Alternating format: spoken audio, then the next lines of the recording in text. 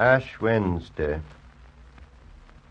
Because I do not hope to turn again, because I do not hope, because I do not hope to turn, desiring this man's gift and that man's scope, I no longer strive to strive toward such things.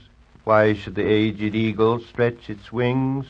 Why should I mourn the vanished power of the usual reign?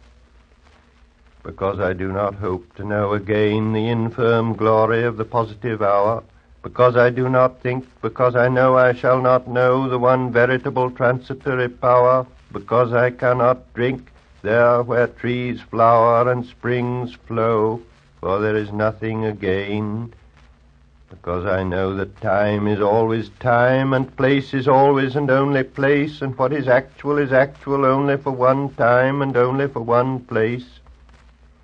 I rejoice that things are as they are, and I renounce the blessed face and renounce the voice.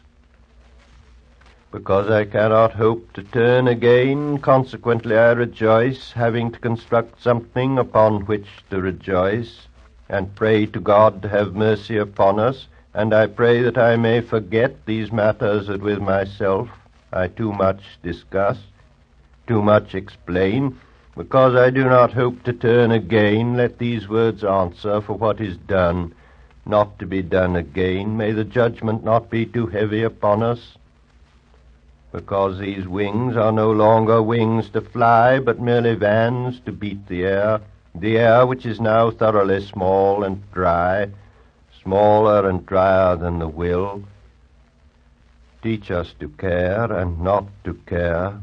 Teach us to sit still.